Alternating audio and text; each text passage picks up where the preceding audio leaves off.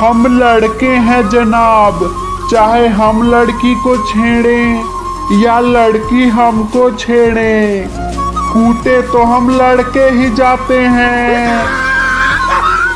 आप अच्छे हैं, आप ईमानदार हैं, आप मेरे बेस्ट फ्रेंड हो, आपके बिना ज़िंदगी खराब है।